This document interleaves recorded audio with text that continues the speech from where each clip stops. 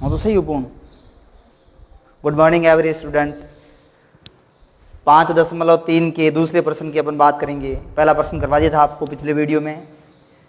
तीन प्लस ग्यारह प्लस उन्नीस प्लस और डॉट डॉट डॉट प्लस आठ सौ तीन का योगफल ज्ञात करो। अब जो अपने पहला प्रश्न किया था, उसके अंदर अपने को पदों की संख्या दी हुई थी कि ग्यारह पदों का योग, बारह पदों का योग, पचास पदों का योग, कितने पदों का योग ज्ञात करना है। लेकिन इसके अंदर अपने को अंतिम पद दिया हुआ है, प्रथम पद दिया हुआ है। अब कितने पद है वो अपने को पता नहीं है और पदों का योग फल भी ज्ञात करना है। तो सबसे पहले अपने को इस प्रश्न के अंदर देखना है कि पहले अपने को पदों की संख्या ज्ञात करनी है कि ये पद कितने हैं। तो देखिए इधर, प्रथम पद ए का मान कितना है? तीन। सारवंत्र डी का मान है ग्यारह माइनस तीन बराबर आठ। और अंतिम पद जिसको ए एन से लिखा जाता है, उसका मान कितना है? आठ सौ तीन। तो इस प्रकार प्रथम पद सारवंतर और अंतिम पद।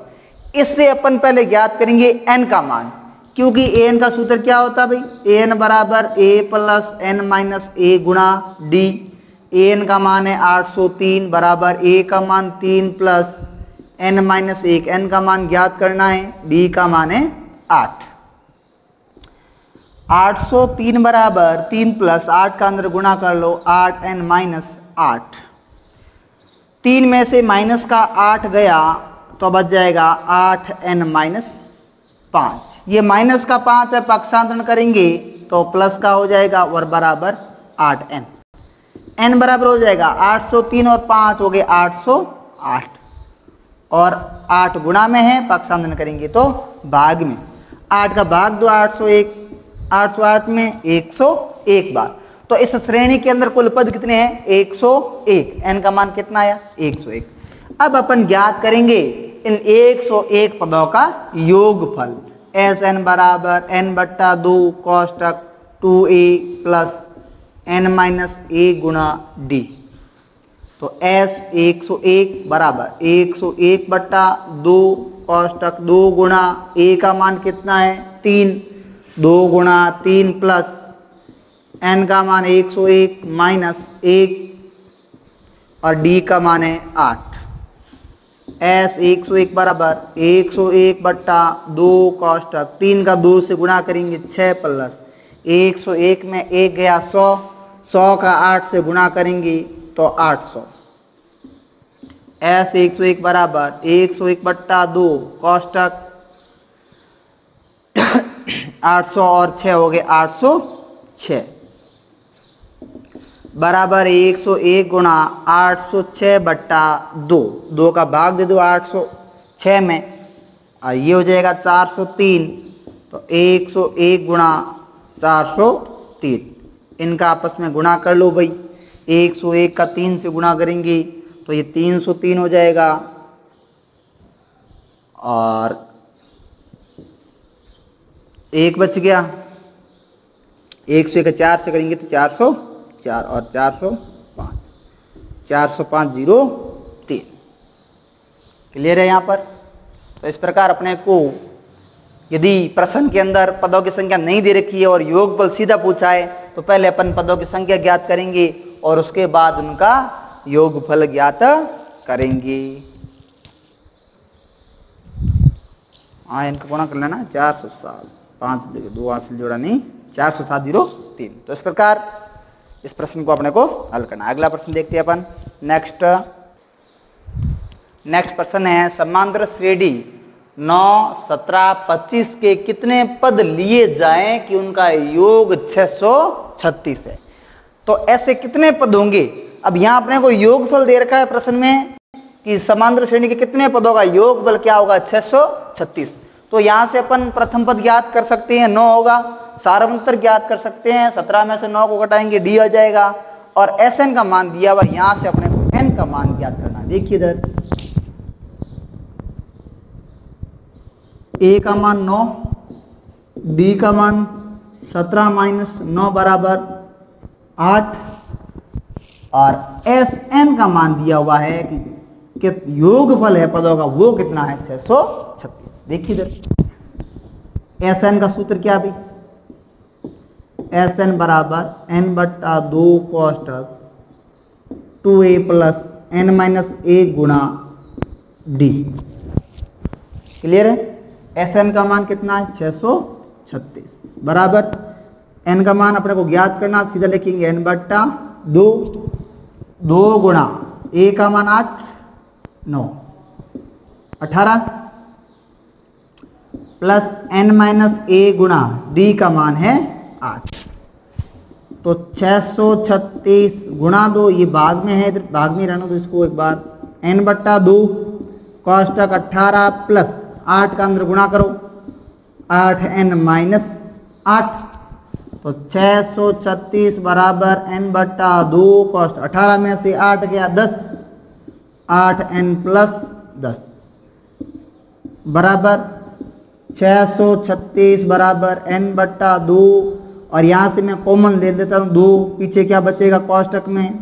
चार एन प्लस पाँच, दो से दो, कट गया। अब इधर हो जाएगा छः सौ छत्तीस बराबर। अब चार एन प्लस पाँच का इधर एन बच गया एन से गुणा करते हैं। तो चार एन का एन से गुणा करेंगे, चार एन स्क्वायर प्लस पाँच एन का पाँच का एन से करेंगे तो पाँच एन ये प्लस का है, पक्षांतरण कर दो। चार एन स्क्वायर प्लस पाँच एन माइनस छः सौ छत्तीस बराबर ज़ीरो। अब देखिए इधर, यहाँ पर अपने को, यहाँ पर हमने एक द्विघात समीकरण प्राप्त हुआ है। द्विघात समीकरण तीसरे अध्याय बहुपद में अपने पढ़ा था कि द्विघात समीकरण को सरल करने के तीन तरीके थे। पहला गुणनखंड विधि, दूसरा श्री श्रीधराचार्य विधि और तीसरा पूर्ण वर्ग विधि। उन तीन तरीके से अपन द्विघात समीकरण को सरल करके उनके मान ज्ञात कर सकते हैं। तो अपन गुणनखंड विधि का उपयोग करते हैं यहाँ पर। पाँच एन की गुणनखंड विधि में क्या था? बीच वाले खंड के दो टुकड़े करने हैं। गुणा करने पर पहले और तीसरे का गुणनफल क्या आना चाहिए? बराबर। तो हो जाएगा यहाँ चार एन स्क्वायर प्लस तिरपन एन माइनस अड़तालीस एन माइनस छः सौ छत्तीस। देखिए इधर, ये कहाँ से आया? तिरपन का मैं अड़तालीस से गुणा करूँगा। तिरपन का मैं अड़तालीस से गुणा करूँगा। तो अभी आ जाएगा, वो किसके बराबर होगा? 636 का में चार से गुना हो। इसका भी उत्तर आएगा पच्चीस चौवालीस और इसका भी उत्तर आएगा पच्चीस चौवालीस। पच्चीस सौ चौवालीस, ये भी पच्चीस सौ चौवालीस। इनका गुणों भी बराबर है। अब त्रेपन में से अड़तालीस घटाएँगे, पीछे कितना बचेगा? पाँच। और त्रेपन का अड़तालीस से गुणा करेंगे, वो गुणनफल किसके बराबर होना चाहिए? पहले और तीसरा। पहला और तीसरा पद क्या है? छह सौ छत्तीस और चार। तो इनका गुणा करेंगे तो ये इसके बराबर आ जाएगा। अब इन दोनों में कॉमन क्या आ रहा है? कॉमन आ रहा है एन चार एन प्लस तिरपन। इन दोनों में कॉमन क्या आ रहा है? माइनस का एक तो कॉमन माइनस आ रहा है और एक आ जाएगा कॉमन बारह। बारह का भाग अड़तालीस में जाएगा चार बार। चार एन प्लस माइनस पर अपन कॉमन ले लिया। छः सौ छत्तीस में जाएगा तिरपन बार और बराबर ज़ीरो। इसमें भी चार एन प्लस तिरपन है, यहाँ पर भी चार एन प्लस तिरपन है। वापस कॉमन क्या आएगा? चार एन प्लस तिरपन। और इधर बच गया एन माइनस बारह। बराबर ज़ीरो दोनों के बराबर ज़ीरो कर दो। चार एन प्लस तिरपन बराबर ज़ीरो चार एन बराबर माइनस तिरपन। और एन बराबर माइनस तिरपन बट्टे चार। इधर एन माइनस बारह बराबर ज़ीरो एन बराबर कितना हो गया? बारह। अब मैंने आपको पहले बताया था कि n का मान है, वो कैसा आना चाहिए? एक तो पूर्णांक होना चाहिए और एक धनात्मक होना चाहिए। क्या ये पूर्णांक और धनात्मक है? इसलिए ये n का मान हमारे लिए नहीं होगा, क्योंकि ये पूर्णांक और धनात्मक नहीं, पदों की संख्या हमेशा धनात्मक और पूर्णांक होती है। इसलिए n का मान कितना होगा? 12 तो ये कितने पदों का योगफल है? वो 636 है। 12 पदों का योगफल क्या होगा? 636 ऐसा ऐसा प्रश्न तीसरे का तीसरे का पहला है। आप तीसरे का दूसरा देखोगे वो इसके जैसा ही है। तो इस प्रकार के प्रश्न को सॉल्व करने का तरीका हमारा ये रहेगा कि यहाँ पर अपने को सूत्र रखना है। एस एन का मान दिया हुआ है। एन अपने को ज्ञात करना है। समांतर श्रेणी से ए व डी अपन ज्ञात कर सकते हैं। फिर यहाँ पर अपने को मिलेगी एक द्विघा समीकरण बनेगी और इस द्विघा समीकरण को सरल करके यहाँ से एन का मान ज्ञात करना है। और एन का मान हमेशा धनात्मक और पूर्णांक होगा। नेक्स्ट प्रश्न देखिए। चौथा 25 पदों का योगफल ज्ञात करो जहाँ। 25 पदों का योगफल ज्ञात करो जहाँ एन बराबर अपने को दो दो प्रश्न इसके अंदर दे रखे हैं। दोनों में पच्चीस पदों का योगफल ज्ञात करना है और ए एन बराबर थ्री प्लस फोर एन तो अपन पहला लेते हैं। ए एन बराबर थ्री प्लस फोर एन यहाँ पर अपन पहले ए वन और ए टू ज्ञात करेंगे। श्रेणी के लिए पहला क्या होता है? A one A two A three A four A five A six A seven A eight ऐसे होता है। तो पहले अपन ए वन ए टू ज्ञात करेंगे। अब यहाँ अपने को दो पद ज्ञात करने क्यों करने हैं? क्योंकि सारवंतर के लिए हमारे पास ए वन और ए टू होना ज़रूरी है। तो ए टू में से ए वन को घटाएँगे तो डी आ जाएगा। डी और ए वन लिखो ए लिखो ए की बात है। तो डी और ए ज्ञात हो जाएगा। डी और ए ज्ञात होने के बाद अपन पच्चीस पदों का योग फल ज्ञात कर सकते हैं। तो ऐसा प्रश्न जिसके अंदर एन वाला प्रश्न है यदि कुछ भी इसमें समझ में नहीं आता, सीधा आप एन के मान रखोगे एक और फिर रखोगे दो। दो मान रखने ए वन ए टू ज्ञात होगा। इस प्रकार का प्रश्न एस में योग बल के रूप में भी दे रखा होगा, वो अपन आगे हल करेंगे। तो यहाँ मैं रखता हूँ एन बराबर एक रखने पर।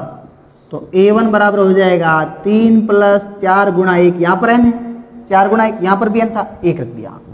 तो ए वन बराबर कितना हो गया? चार और तीन, सात। ए वन लिखो ए लिखो एक ही बात हुई। प्रथम पद प्रथम पद ए वन ए लिखो एक बात हुई। और ए टू अब एन बराबर मैं कितना रखूँगा? दो रखने पर। एन बराबर कितना रखेंगे अब यहाँ पर? दो। तो ये ए टू हो गया। तीन प्लस चार गुणा दो। चार गुणा दो, आठ। आठ और तीन कितने हो गए? ग्यारह। ए वन ए टू ज्ञात हो गया। अब डी ज्ञात कर लेने क्या होगा? डी बराबर क्या होगा? A two minus A one दूसरे में से पहले पद को घटाएँगे तो सारा बनता आ जाएगा। ग्यारह माइनस सात बराबर चार। सारावंतर कितना आएगा? सारावंतर आ जाएगा चार। ए अपने पास सात है। अब पच्चीस पदों का क्या ज्ञात करना है? योगफल। तो अपन एन का मान कितना है? पच्चीस। एस पच्चीस बराबर एन बट्टा दो कॉस्टक two A plus N minus A गुणा डी एस पच्चीस। पच्चीस बट्टा दो कॉस्टक दो गुणा सात ए का मान सात है प्लस पच्चीस माइनस ए गुणा डी का मान है चार। एस पच्चीस बराबर पच्चीस बट्टे दो कॉस्टक सात का दो से गुणा चौदह, पच्चीस में से एक गया, चौबीस और चौबीस का चार से गुणा करेंगे तो छियानवे। एस पच्चीस बराबर पच्चीस गुणा छिन्नो, छियानवे और चौदह कितने हो गए?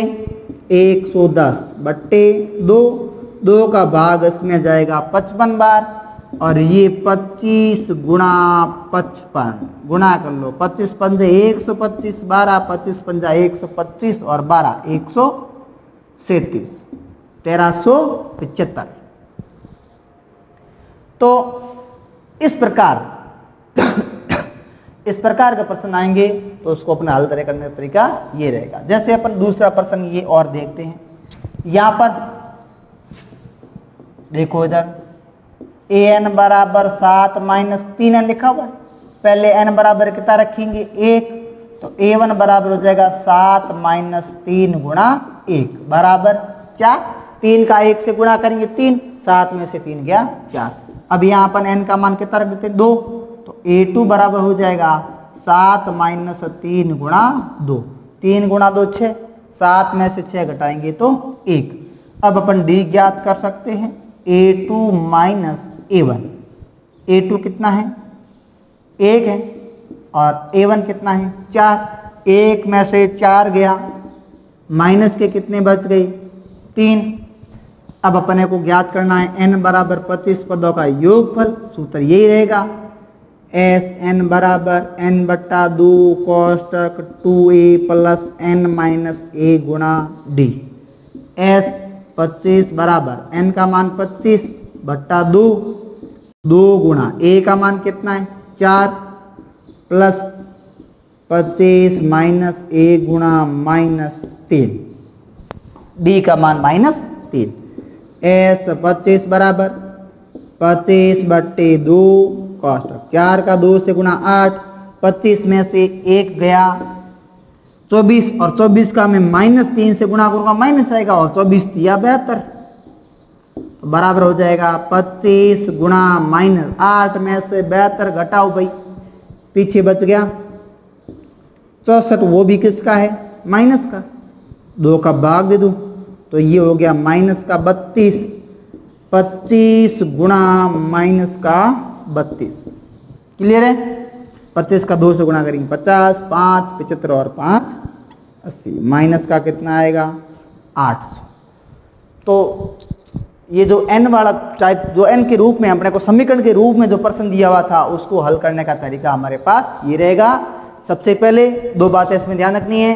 पहली है कि n का मान रखोगे एक और d उसके बाद अपने को देखना है कि 25 पदों का योगफल ज्ञात करना है या 25वां पद ज्ञात करना है। यदि सीधा पूछता 25वां पद तो यहाँ पर अपने को ये ज्ञात करने की कोई ज़रूरत नहीं थी। सीधा अपन यहाँ से ज्ञात कर सकते हैं। एन का मान क्या क्योंकि ये है क्या? एन एनवा पद है। एनवा पद है, इसका मतलब ए पच्चीस ज्ञात कर सकते हैं सीधा, यहाँ रख के। तो उसके लिए सूत्र की आवश्यकता नहीं है। योगफल पूछा है तो योगफल के लिए हमारे पास डी और ए का होना आवश्यक है। इसलिए अपन ए वन और एन बराबर एक और एन बराबर दो रख के ए वन ए टू ज्ञात करेंगे। ए वन ए टू ज्ञात करने के बाद अपन डी ज्ञात करेंगे। उसके बाद इन पच्चीस पदों का योगफल ज्ञात करेंगे। नेक्स्ट प्रश्न देखिए विद्यार्थियों। एक समांतर श्रेणी के पहले इक्यावन पदों का योग ज्ञात कीजिए, जिसमें द्वितीय व तृतीय पद क्रमशः चौदह व अठारह है। अब देखो जरा। दूसरा और अपने को दिया हुआ है तीसरा पद। दूसरा और तीसरा। दूसरा पद है, दिया हुआ प्रश्न के अंदर। तो अपन क्या लिखेंगे? ए टू ए टू लिखेंगे ए टू दिया हुआ अपने को। चौदह और ए थ्री अपने को दिया हुआ है, अठारह। तो मैंने कहा था कि समांतर श्रेणी ये होती है A one A two A three A four ऐसे होता है। तो यदि अपने को डी ज्ञात करना है, वो ज़रूरी नहीं कि ए टू में से ए वन घटाओ ए थ्री में से टू ज्ञात घटा सकते हैं अपन। तो अपन ऐसा करेंगे यहाँ पर डी सीधा ज्ञात कर सकते हैं। कैसे? A three minus A two ये हमारा क्या हो जाएगा डी तो अठारह माइनस चौदह बराबर कितना हो गया? चार हो गया। अब अपन ए भी ज्ञात कर सकते हैं, क्योंकि दूसरे में से चार को उठाएँगे, पहला पद प्राप्त होगा।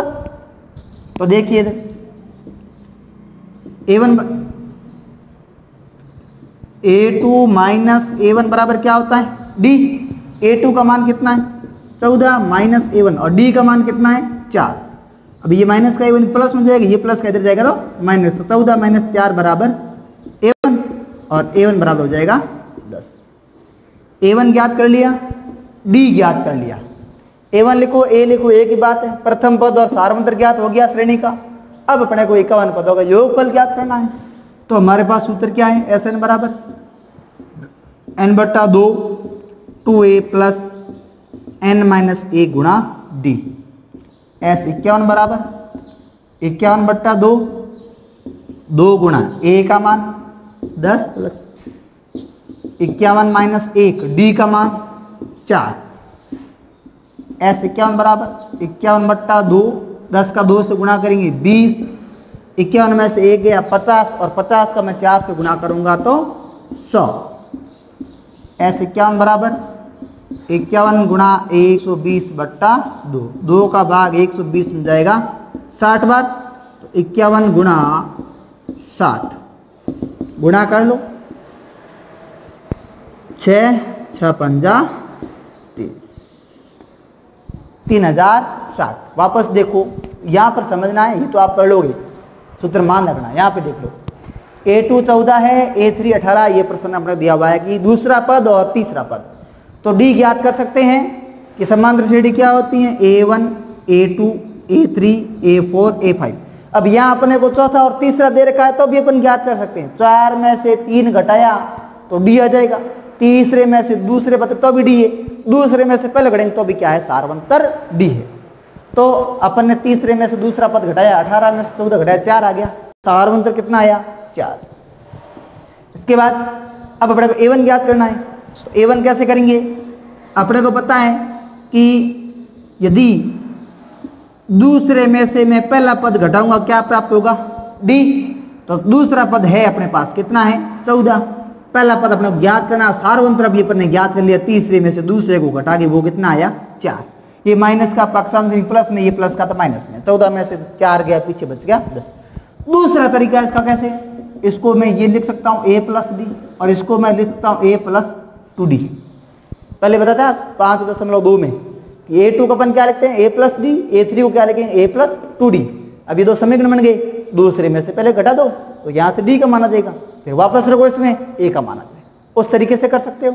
ये सिंपल तरीका है, इसलिए मैंने आपको ये तरीका बताया। तो इस प्रकार का प्रश्न आएगा।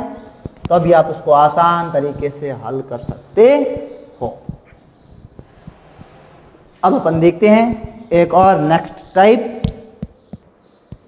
नेक्स्ट देखिए, किसी समान श्रेणी का प्रथम व अंतिम पद क्रमशः सत्रह व तीन सौ पचास है, तथा सार्वंत्र डी बराबर न हो तो इसमें पदों की संख्या व योग ज्ञात करो। अब ये अपने को पता है कि योग ज्ञात करने के लिए हमारे पास पदों की संख्या का होना आवश्यक है। सूत्र के अंदर यदि n का मान नहीं है तो अपन योग ज्ञात नहीं कर सकते, इसलिए पहले अपन ज्ञात करेंगे पदों की संख्या। अब देखिए प्रश्न के अंदर सीधा सिंपल दिया हुआ है। प्रथम पद लिखा हुआ, प्रथम पद और अंतिम, प्रथम पद कितना है? सत्रह।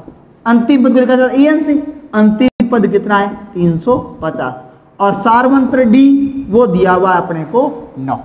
तो पहले अपन ज्ञात करेंगे पदों की संख्या। तो एन का सूत्र लगा दो। एन बराबर A plus N minus A Guna D. N का मान है 350 ए का मान 17 एन अपने को ज्ञात करना है और डी का मान है 9 9 का अंदर गुणा कर लो। 350 बराबर 17 प्लस नौ एन माइनस 9 9 का एन से गुणा करेंगे 9 एन। 9 का एक से करेंगे तो माइनस नौ। सत्रह में से 9 गया 8 बच गया। तो 350 बराबर आठ प्लस नौ एन।